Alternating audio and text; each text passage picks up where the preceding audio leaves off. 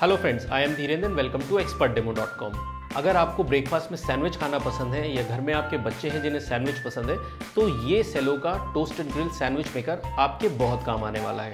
Daily के breakfast को बहुत ही आसान और बहुत ही फास्ट बना देगा। तो आइए इसी के बारे में जानते हैं। इस toast and grill sandwich maker की मदद से आप आसानी से क्रिस्पी हेल्दी और टेस्टियर सैंडविचेस बहुत ही आसानी से कम समय में बना पाएँगे।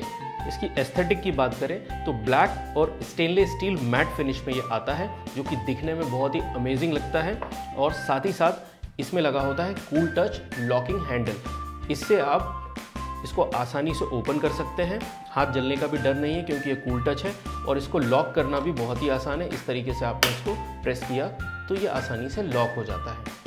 इसके अलावा इसके नीचे रबर फीट लगे होते हैं, जो कि इसे मिरर सरफेस में भी आप रखेंगे तो ये अपनी जगह से हिलेगा नहीं और आसानी से आप इसमें कुकिंग कर सकते हैं। इसके अंदर अगर हम देखें तो इसमें लगी होती है non stick coated triangular shape plates non stick होने की वजह से इसे क्लीन करना बहुत ही आसान है। साथ ही साथ बिल्कुल कम ऑयल या फिर बिल्कुल कम बटर में भी आप अपने सैंडविचेस को बना सकते हैं तो हेल्थ के लिए भी बहुत ही अच्छा है।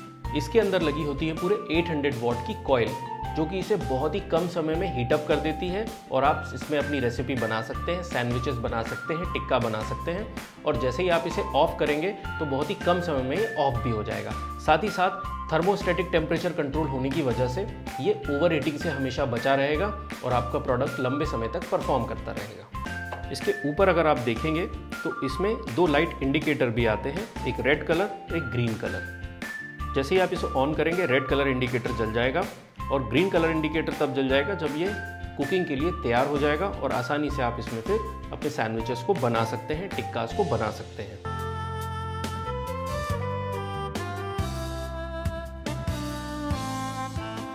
अपने सैंडविच मेकर को यूज़ करने के पहले आप इस बात का ध्यान रखें कि इसे ऑन कर दें और ऑन करने के बाद एक बार चेक कर लें कि ये अच्छी तरह से हीटअप हो गया है।